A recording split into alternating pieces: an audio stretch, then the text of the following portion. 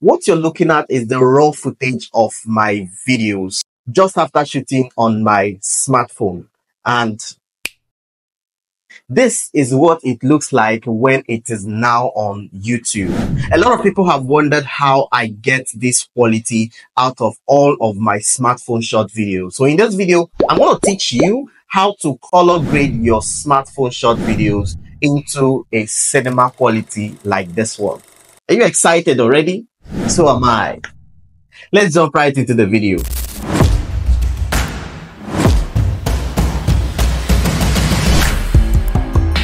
Now, there are a few things that you need to know before we get into the actual color grading tutorial using our CapCut application. Now, the color grading um, effect I'm going to, or the measure of my brightness or everything I'm going to be doing on my color grading, it's not specific, it's not definite, right? It's, I'm not expecting you that if I kept my brightness at 10, you keep yours at 10 all right because one of the things that you need to ensure that you have that will make your color grading to really look you know to really get your video up to that cinema or studio quality is your lighting if you look behind me i have rgb lighting behind me and then i have a keyframe softbox keyframe and fill light in front of me. If you're shooting with your smartphone and you don't have all of this sophisticated lighting, then your color grading might be more intensive than what I'm going to do in my video. So it is most recommended that you take your video outside to use the natural light okay for your video so you don't need to worry about studio lighting the only thing that you need to get is the basics all right? What the brightness does what the contrast the what saturation brilliance exposure and all of that does all right? So that when you are adjusting them in your own you'll be able to still get a really awesome video regardless of what you saw in my own adjustments. As i mentioned earlier we are going to be using CapCut for this video editing tutorial all right so i'm to get on my CapCut right now. So i'm on, on the tablet um, version of CapCut but this is also the same way as your mobile version is all right so i'm to tap on new projects and then i'm going to bring in the video that we want to edit all right and then i'm to tap add. So this is the video right now. To color grade we're to tap on the video all right? And then you're going to just swipe to the left and you see adjust all right? So now over here at the filter this is the already made presets. Okay? These are already made um, templates that you can use. So you can switch from this to this.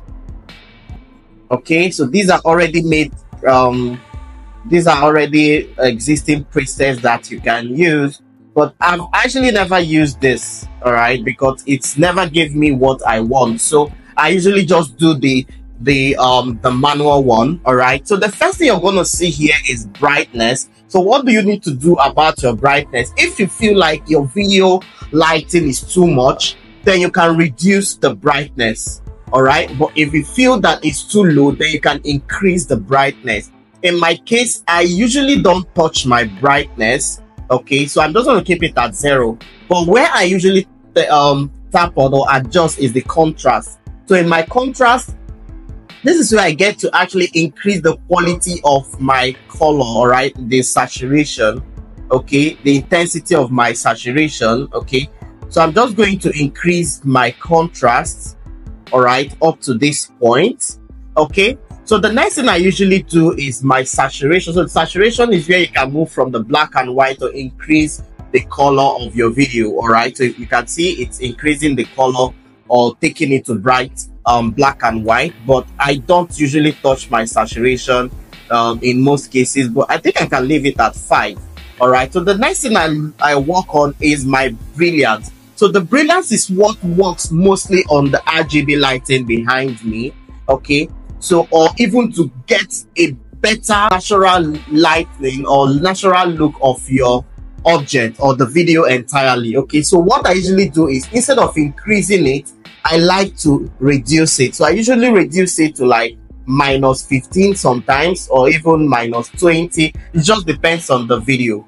Okay, so the next thing um is the the sharpening. So the sharpening is what gives me the quality all right increase the quality of the video so i usually increase my lightning to like 50 sometimes then in most cases i actually take it to like 100 Okay. So the next one now is the HSL. so that's the the hue, saturation, and lightness. All right.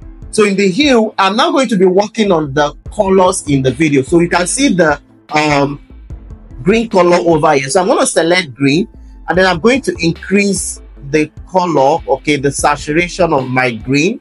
Then I'm going to select red. So you can see the red light in here. So I'm going to increase. So you can see that it's increasing. All right.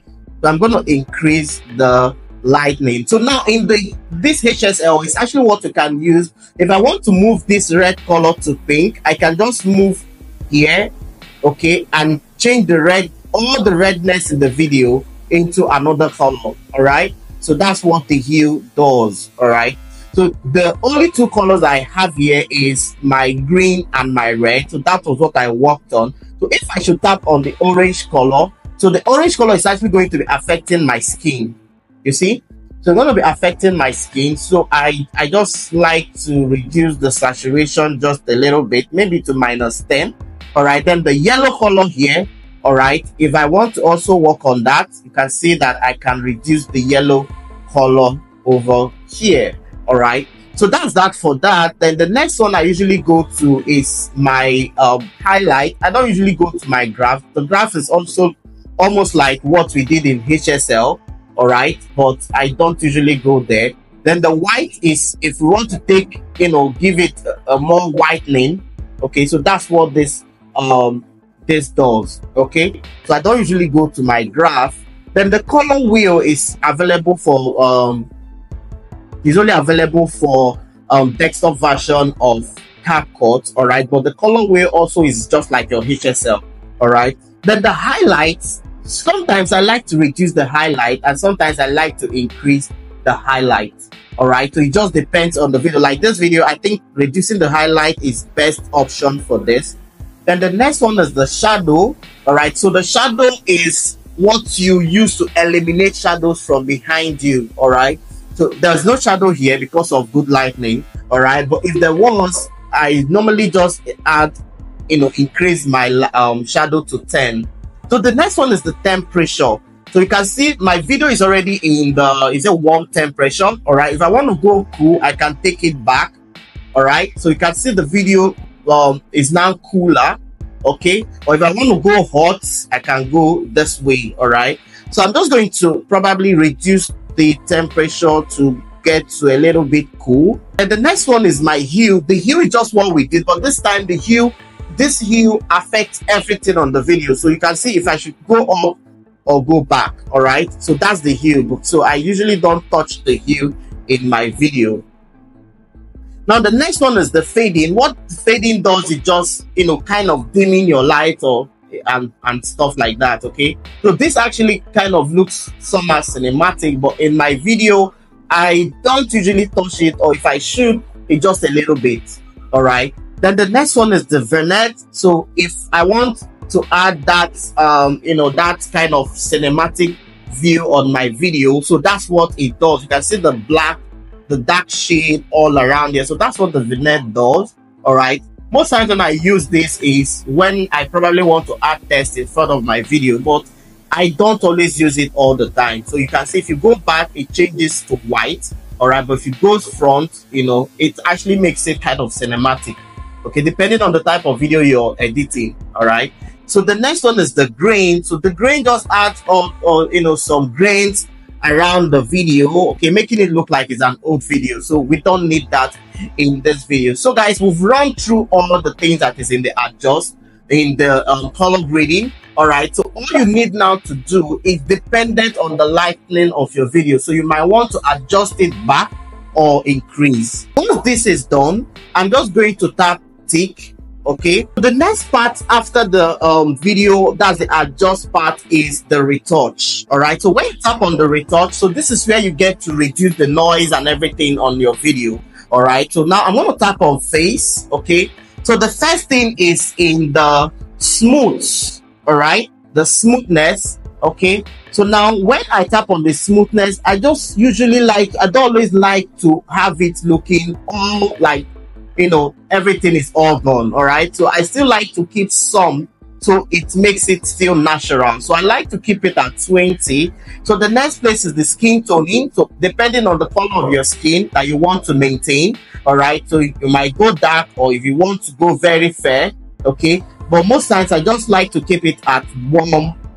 This one, okay because that's my natural skin tone. After that, I go to my brightness. All right. So the brightness is where if I want to add more light, okay, or more brightness on my video, on my face, but I don't do that. Now the last place is now the white teeth. So this white teeth, I, I usually like to increase my white teeth because after the color grading, it could actually affect the color of your teeth. So I like to keep it at 50, all right? So I can be able to, you know, keep my um you know the teeth to be white okay? So now when you're exporting the final thing you need to uh, take note of keep your video in this quality is now in the export. So when you're exporting your video all right you'd want to tap on the 1080p increase it to 2k or 4k now this is dependent on the um the resolution of your phone all right if you have a lower version android okay you might not get